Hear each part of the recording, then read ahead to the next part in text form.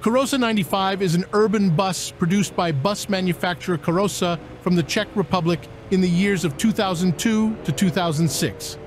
The Karosa 95 was conceived as a response to the evolving needs of the transportation industry. Karosa, known for its commitment to quality, set out to create a bus that would redefine standards in terms of reliability, efficiency, and passenger comfort. The design philosophy behind the Karosa 95 is a perfect marriage of functionality and aesthetics. Its sleek exterior not only catches the eye on the road, but also reflects the manufacturer's meticulous attention to detail.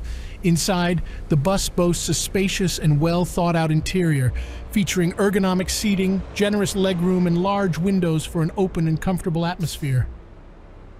Safety has always been a top priority for Karosa, and the 95 series is no exception.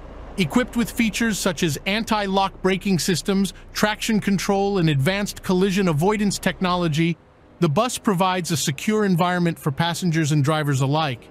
In tune with the times, the Karosa 95 integrates modern technology to enhance the overall travel experience.